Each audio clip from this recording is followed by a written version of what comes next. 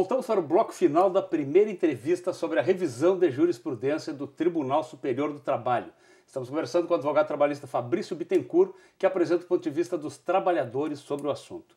E entrando diretamente nessa questão, é, uma, uma das, das decisões, dessas decisões recentes do TST, é, aumenta o, o, o, número de dirigentes sindicais com estabilidade após o término do mandato, de sete titulares, que era antes, e acrescenta sete suplentes. Mas mesmo a posição anterior não era ainda uma, uma certa quebra na autonomia sindical?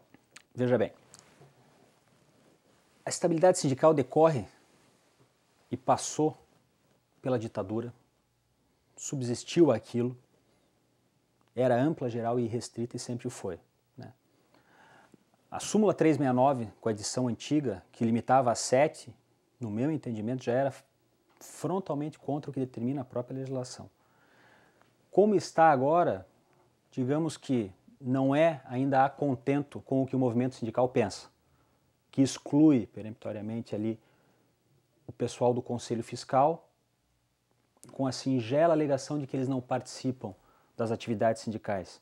Lê engano, eles fiscalizam as contas da entidade, foram eleitos pelos associados da entidade são escolhidos politicamente pelos dirigentes é, é, que compõem a entidade, então, claro que eles estão intrinsecamente ligados à entidade. Esse pensamento, na minha ótica, do judiciário é completamente contrário ao que diz a legislação, que desde a década de 40 é a mesma, subsistiu um período ditatorial, né?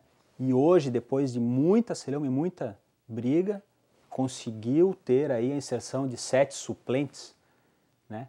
o que seria até um contrassenso se não tivesse tido, porque então só os sete titulares são passíveis de estabilidade, sete suplentes eu posso mandar os sete embora, eu vou desmantelar o movimento sindical.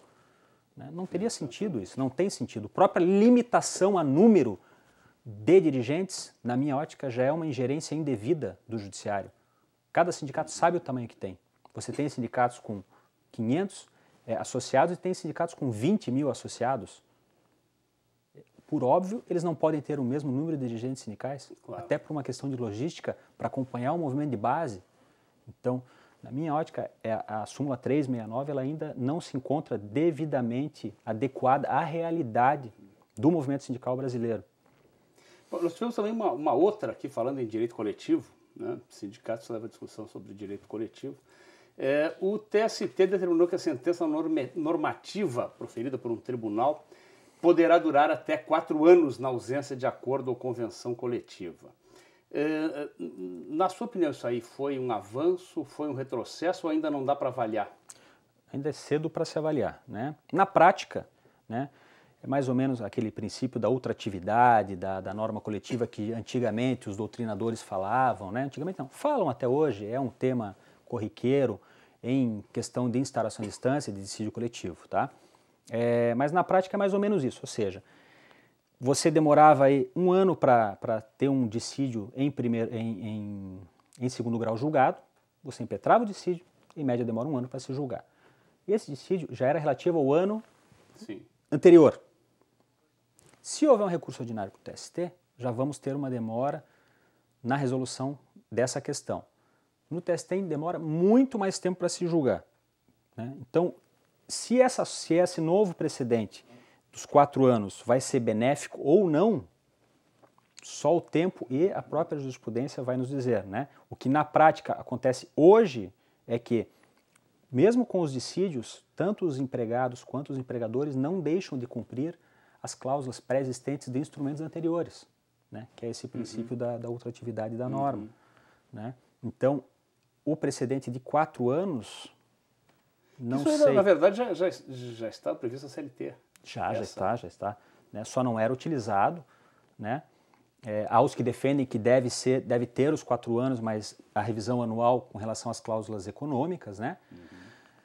Vai ser uma, é, é, uma adequação jurisprudencial para o futuro. É, é, não tenho ainda opinião formada a respeito se isso, se o objetivo principal é dar uma estabilidade aos benefícios já e direitos oriundos das convenções pretéritas ou das sentenças normativas pretéritas, né?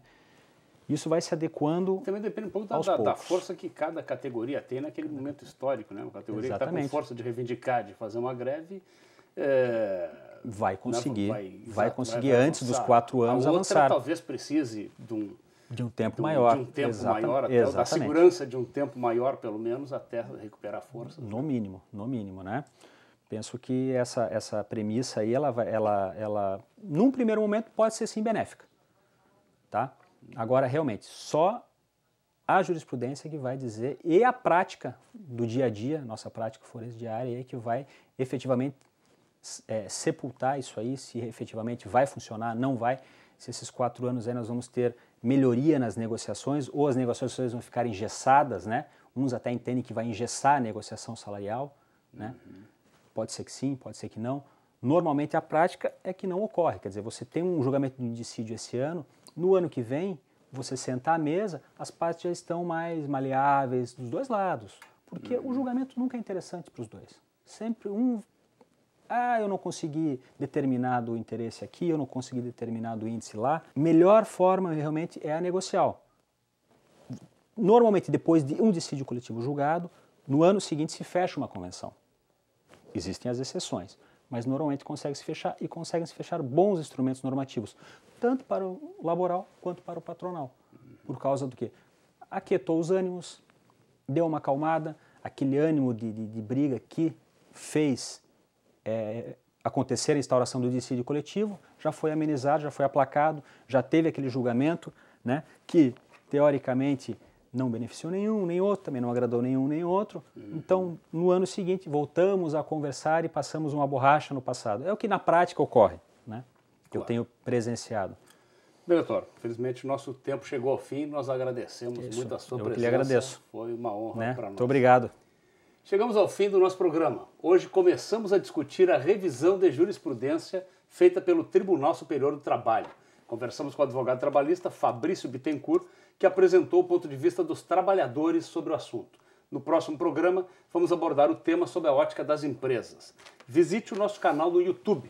Após a barra, é só digitar Justiça do Trabalho SC sem cedilha. Você também pode nos seguir no Twitter, no endereço TRT_SC. Se preferirem, envie sua sugestão de entrevista para ascom.trt12.jus.br. Até a semana que vem.